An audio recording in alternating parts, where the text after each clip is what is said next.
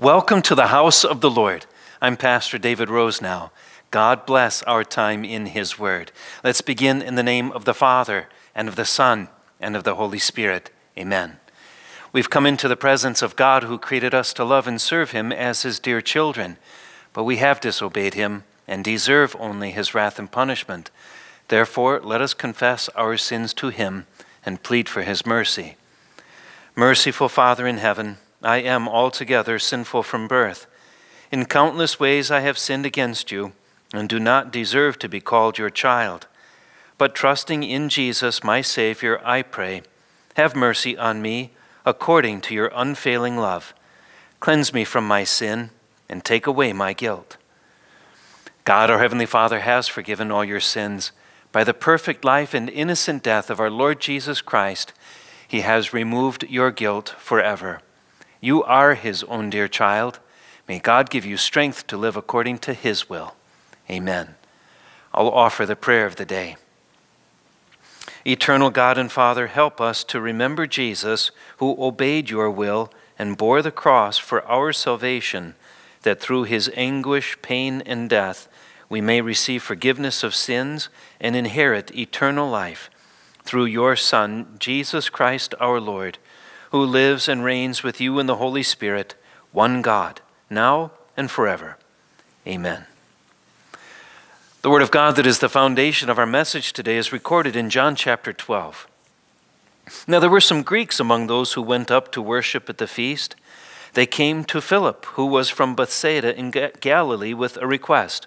Sir, they said, we would like to see Jesus. Philip went to tell Andrew. Andrew and Philip in turn told Jesus.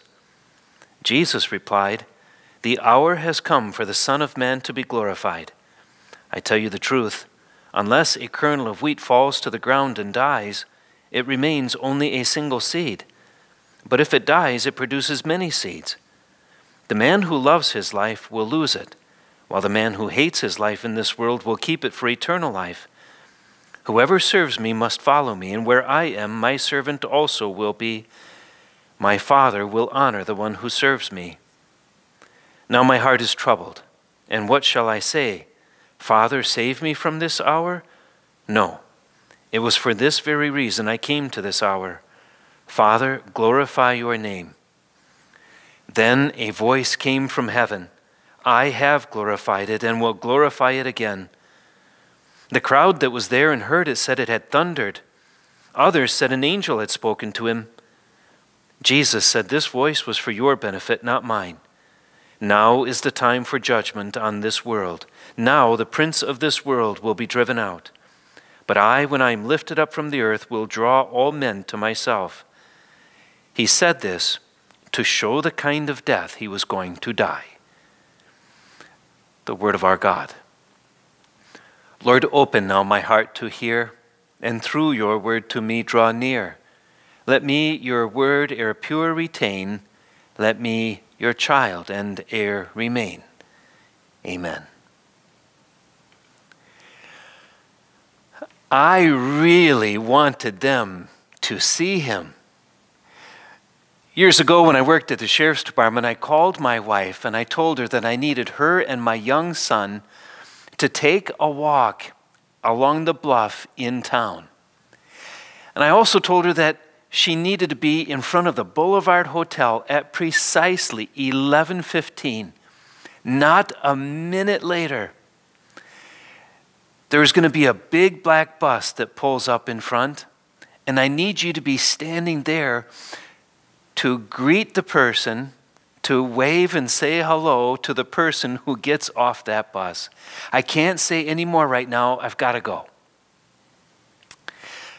What she didn't know was that I and other detectives had been meeting quietly with the Secret Service to plan security for this person's visit. And this person said that he wanted to take a jog before a big speech that he had to give later that night. So we planned out that it would be a good spot for him to park here and then take a jog along this bluff that overlooked Lake Michigan and along the beach and along the lake. At 11:15 that morning, My wife and son were at the right place at the right time to wave and say hello to President George W. Bush.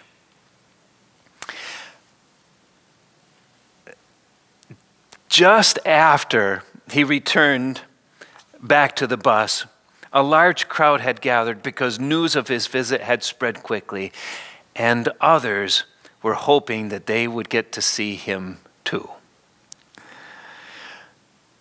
Nobody would have mistaken Jesus' disciples as plainclothes detectives or as secret service. They were truly as simple as they appeared. But they had been with Jesus for the past three years. They walked where he walked, they ate where he ate.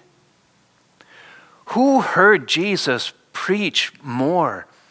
Who saw Jesus heal more? Who saw Jesus perform more miracles? That's the small band that followed Jesus into Jerusalem and into the crowds that were pouring into the city from all over the world to celebrate the Passover. And as they did, a group of Greeks said they wanted to see Jesus. That's exciting. Why? The Passover was a Jewish festival.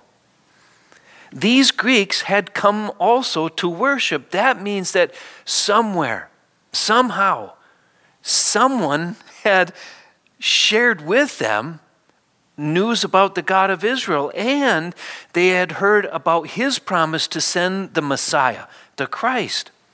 And that word stirred their hearts to know more, and they wanted to see Jesus. Philip and Andrew told Jesus, and Jesus said, The hour has come for the Son of Man to be glorified. I tell you the truth, unless a kernel of wheat falls to the ground and dies, it remains only a single seed. But if it dies, it produces many seeds. Jesus had healed so many. He cleansed people of leprosy. He opened eyes and ears in addition to hearts. He strengthened weak legs. He drove out demons from people. He raised some people to life. But every person that he helped or healed would still die. Jesus had come into the world to do far more than heal people for this lifetime. And that's why he compared his life to a kernel of wheat. A kernel of wheat is a kernel of wheat, unless that seed dies and then it sprouts and grows and produces many kernels of wheat. Jesus had come into the world for a great harvest, a harvest of souls. He had come to win and then offer eternal life with Him in heaven as a free gift to all who believed. Free to us, but at a great cost to Himself. Just hours after Jesus said this, he would gather with his disciples to celebrate the Passover one last time. He would look at Judas in his eyes and say, Yes, it is you who will betray me. He would pray with his face to the ground, his soul overwhelmed with sorrow to the point of death. His sweat would drop like blood.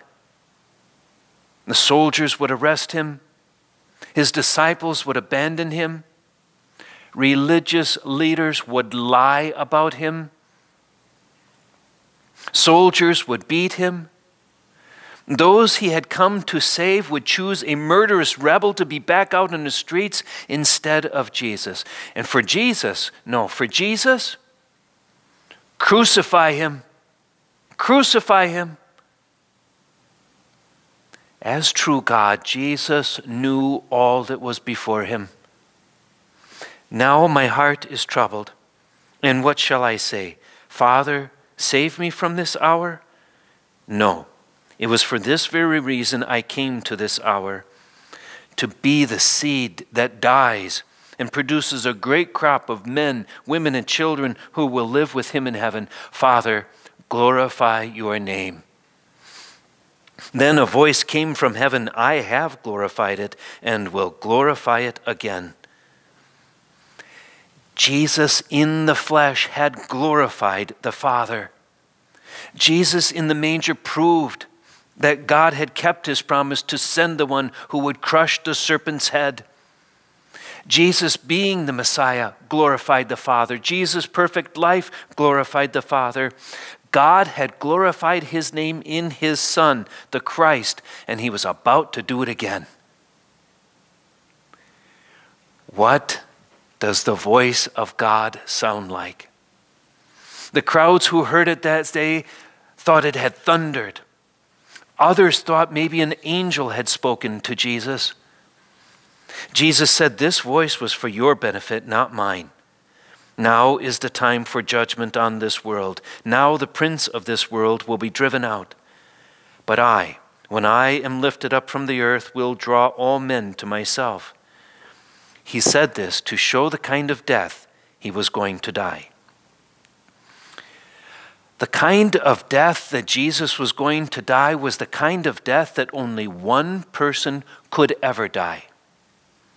And that person needed to be true man and true God at the same time. True man obligated to keep God's law, true man to have flesh and blood to die. But to be the Messiah, he also needed to be true God so that his precious blood would count for everyone. Jesus on the cross was the time of judgment on the world, not judgment day, but an ongoing judgment that will happen each day until judgment day, because Jesus on the cross defeats the devil. Jesus on the cross destroys the power of sin. And three days later, Jesus returned to life, rips the victory away from death. The time of judgment is that all who look to him lifted up on that cross and believe in him will have eternal life. Those who do not believe in him are judged condemned. Knowing what he had come to bring for all people, Jesus told the crowd, The man who loves his life will lose it, while the man who hates his life in this world will keep it for eternal life. Whoever serves me must follow me, and where I am, my servant also will be. My Father will honor the one who serves me. Jesus draws us to himself by the power of the gospel, his precious word that saves sinners like us. When He creates faith in our hearts to know who He is and to believe what He has done for us, then nothing is more important to us in this life than Him. Better to lose everything here than to lose anything there. It costs something to follow Jesus. We don't make this life our all. This isn't all there is. We thank God for all that He gives us while we're here. We marvel at the beauty of the things He's created. But we also deny ourselves when it comes to things He says don't do or ways to live that He says no. We acknowledge that we are not our own. This is not our life to do what we want with. This is not our body to do what we want with. We acknowledge that we are bought at a price, so we belong to Him. We also carve out time, like you just did now, to say that for this moment, this is the most important place to be because right now I'm in His Word. And others will see that we keep coming back for more.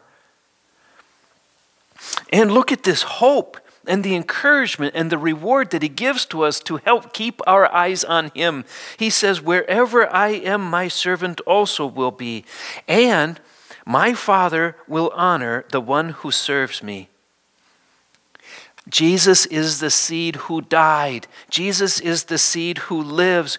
By creating faith in our hearts to believe in Him, you and I are the beautiful crop that He produces.